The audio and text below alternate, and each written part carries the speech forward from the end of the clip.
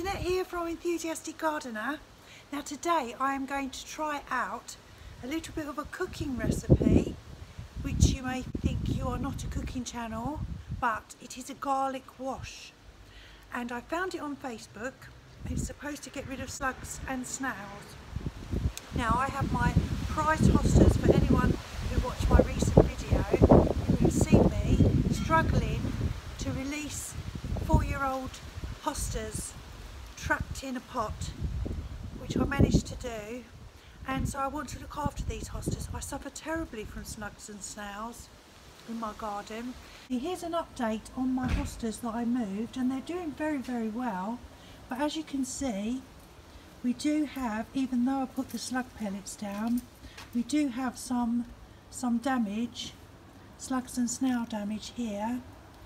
This one's looking really lovely and healthy but you can still see little holes even though I've got the slug pellets which are in here. They're the slug pellets.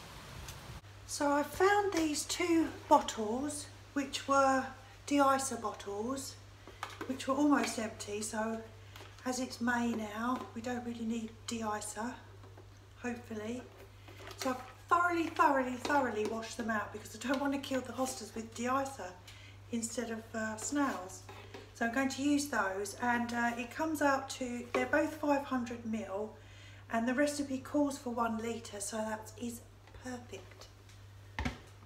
So here we go.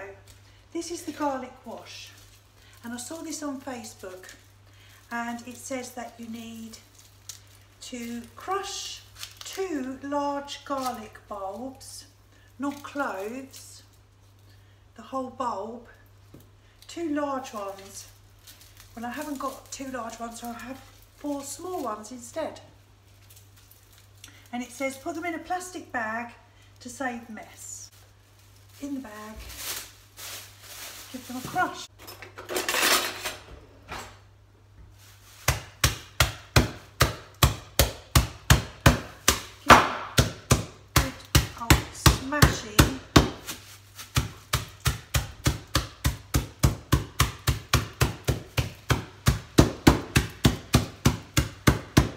Very satisfying.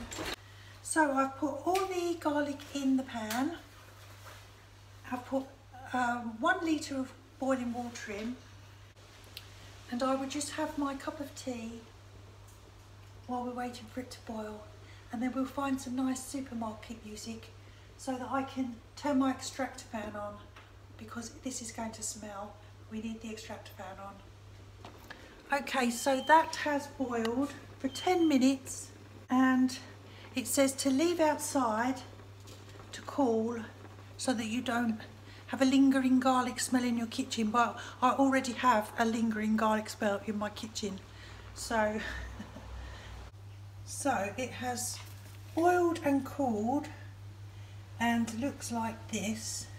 It smells pungent to say the least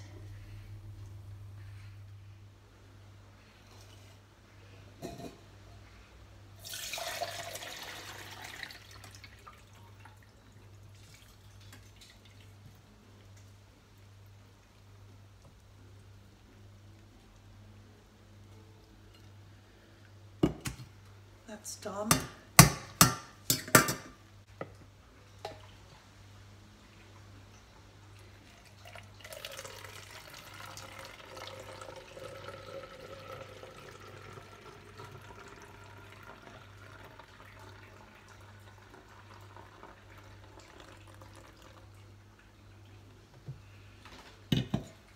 Well, there we go. My garlic wash.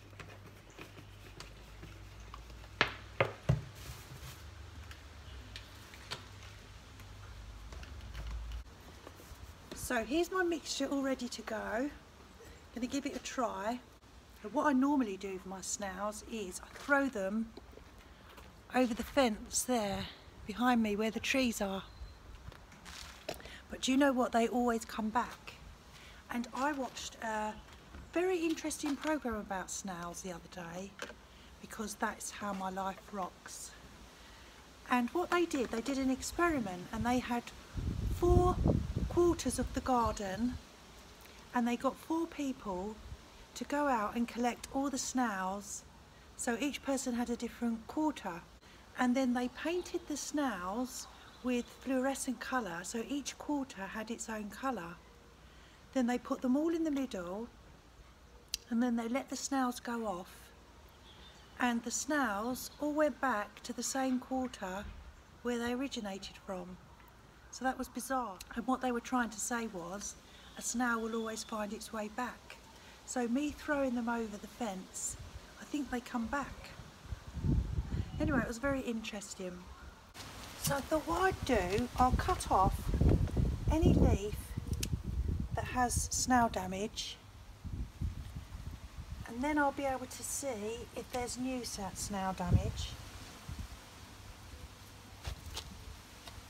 And I'm going to spray, oops, oh my gosh it smells, and I'll spray underneath as well. And I'll do this, it says to do it once a week.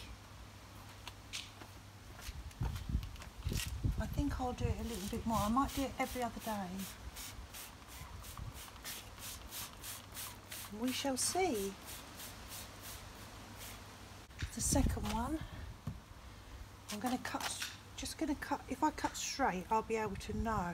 All I want to do is to know if there's new ones, new damage. Yeah, I'll cut that one off. Cut that one off. I will cut that one off.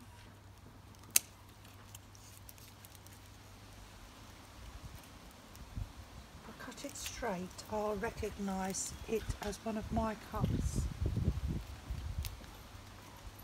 And I think there has been slugs on here because it's kind of sticky. I'm going to cut that one off. And, oh dear, there'll be nothing left. Anyway, I'm going to cut that to across there.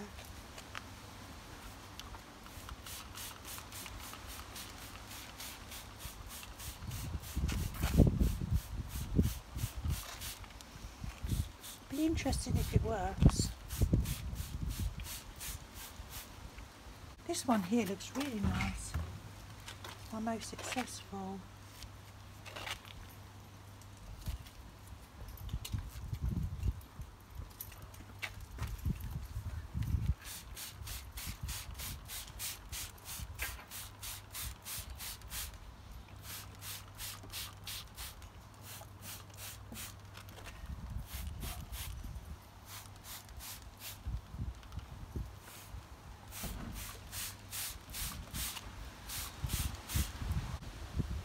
Finally this one. Cut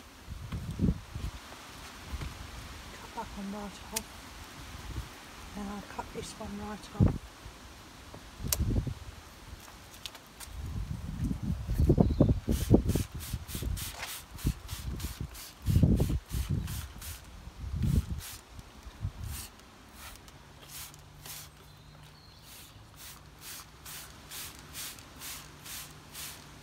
And they painted this plant here, as you can see.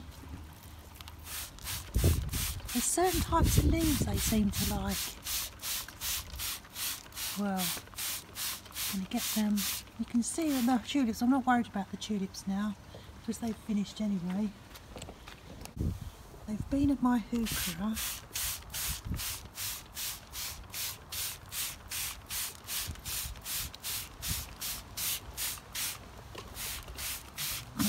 worth a try. I've been at this heuchera as well. Be good if it works, just for the sake of some garlic. I'm going to do my busy lizzies as well. I planted up these busy lizzies I didn't show you. I don't remember them liking busy lizzies but I'm going to do the busy lizzies anyway because they're nice new fresh plants. They like nice new fresh leaves. Nice tender young leaves they like. Now look, see here, you can see because it's so windy, there's a hole there. This is the kind of yes. You see holes. We'll give this one a go. Lots of holes on this one.